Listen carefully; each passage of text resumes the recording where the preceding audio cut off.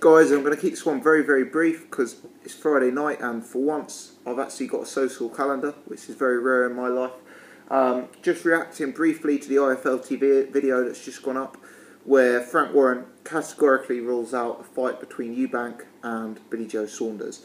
Uh, apparently Eubanks was up to his usual tricks and um, wouldn't sign up and wouldn't agree to certain clauses, a rematch clause for example.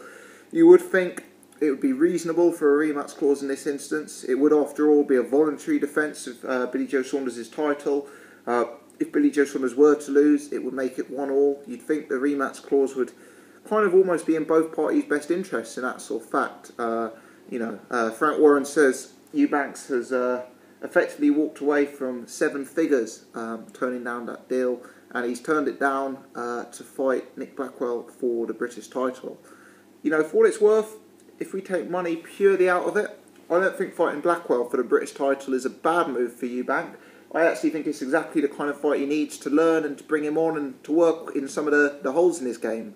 I think a Joe Saunders fight at this stage may be a bit too soon and would probably have led to a second career loss, which may have started to affect his image and his persona that he's built up uh, inside and outside the ring. Um, what this means, though, is two of the biggest characters in British boxing, Billy Joe Saunders and Chris Eubank Jr., are both available, and neither of them have big fights lined up at this stage for the summer. So you have to question what route these guys will go down, because clearly they're two of the biggest names in boxing, in British boxing certainly, uh, two of the biggest characters out there, and you'd have to assume that they're going to be wanting to line up some serious opponents and some serious paydays this summer. You know, there's been some talk about the Billy Joe Golovkin route, and the fact that this fight is supposedly now not happening must make that fight more likely. You know, because I don't see uh, where else the huge paydays are coming from for, for Billy Joe Saunders, really.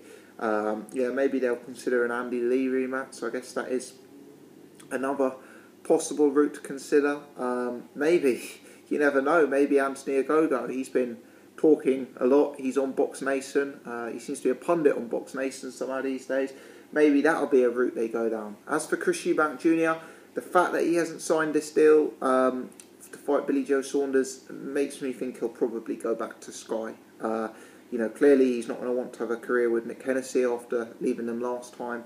I think Eubank Jr. will probably go back to Sky. Uh, I would suggest a move from Eubank Jr. up to super middleweight could potentially be likely as well. Um, that seems to be where Sky can add the most value to him.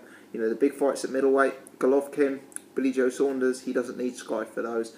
But the big fights that Sky and Matchroom can assist with, DeGale, Smith, Murray, um, Groves, etc.